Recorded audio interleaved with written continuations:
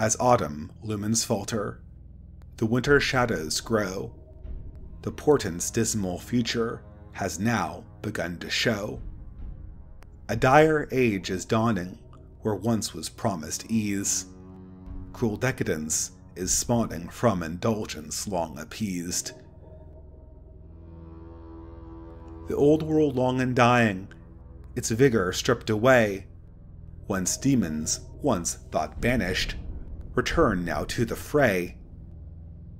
As nations oft do languish, misplaced their cherished joy, when forests of their proving are exchanged for yeast and soy.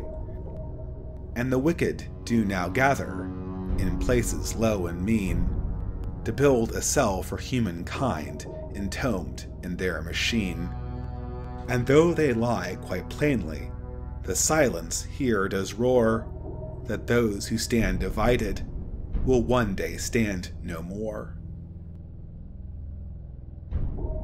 The better hearts of yesteryear, why are they now so rare?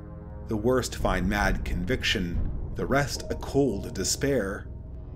The teachers, once, who sowed the land with knowledge broad and true, have turned their charges' eyes away to fascinations new. So squandered was the harvest time when stronger breeds could grow. The field was set to fallow, then strangled by the snow. Our orchards now near barren, fruit scattered far and thin, yet bearing baskets broad with hope, may some be gathered in? For few the hands are needed to keep the fires lit, dreams of a new tomorrow, upheld with faith and grit.